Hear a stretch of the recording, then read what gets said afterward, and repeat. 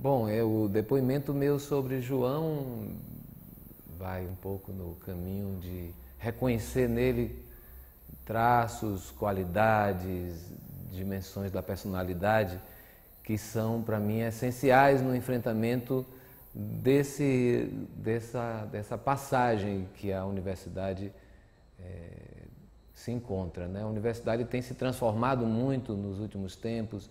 Tem, de quando eu era estudante, a universidade aumentou mais do que, acho que dobrou o número de vagas.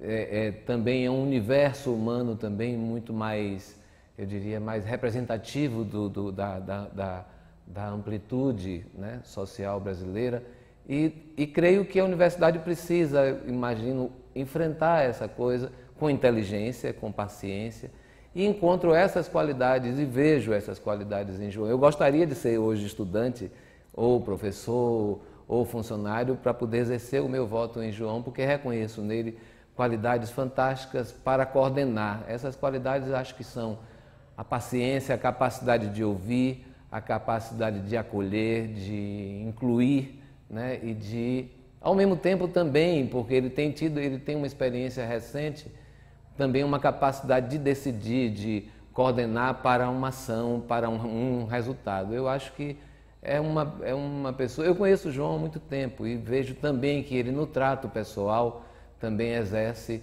essa dimensão de qualidades humanas essenciais para, para a convergência né, para a construção coletiva, né, para a coordenação. É, é isso.